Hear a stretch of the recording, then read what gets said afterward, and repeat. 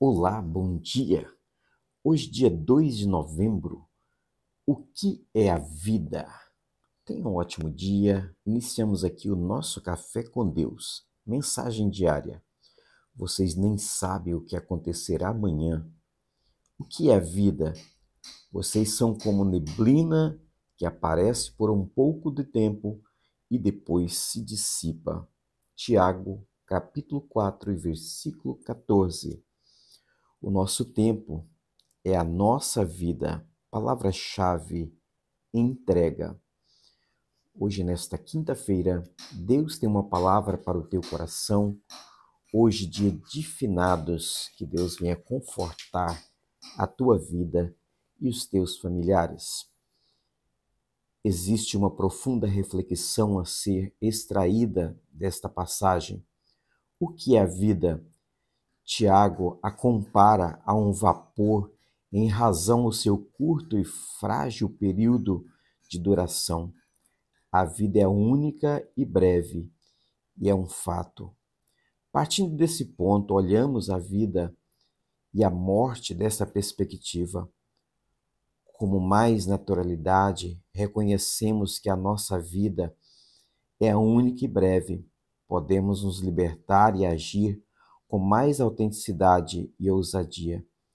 Isso nos leva a viver de forma diferente, pois, atentos à brevidade da vida, não desperdiçamos o nosso tempo, pois ele equivale à nossa vida. Somos fruto das nossas escolhas. Tempo é uma questão de escolha e preferência. Você escolhe algo em detrimento a outra coisa. Por isso, lembre-se que Deus é o Senhor do tempo e só Ele tem poder para transformar a realidade da nossa vida. Ele tem poder de fazer na sua vida aquilo que levaria anos para ser realizado. Em poucos meses ou até mesmo em poucos segundos, ele tem esse poder. Então, entregue o governo do seu tempo e da sua vida totalmente ao Senhor Deus. Oramos, Pai querido, nós estamos esta manhã diante da tua presença, meditando na tua palavra e falando-se do tempo que passa tão rápido, o tempo da nossa vida, o qual, ó Pai, nos dê graça para saber administrar esse tempo e com certeza temos um tempo para dedicarmos em louvor e adoração a Ti, porque a vida passa muito rápido. A Tua palavra está dizendo que a vida passa como um vapor. Senhor, nos ensina a administrar esse tempo. Pai querido, neste momento nós queremos apresentar cada lar, cada família, que nesta data lembra dos seus entes queridos e só o Senhor pode realizar o teu milagre e a consolação do teu Espírito Santo possa alcançar cada vida e cada coração.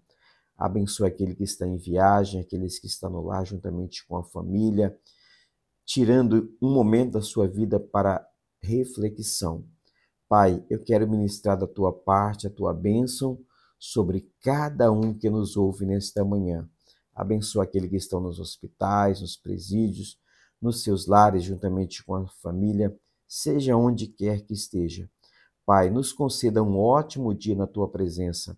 É o que nós lhe pedimos esta manhã, em nome do teu amado filho Jesus.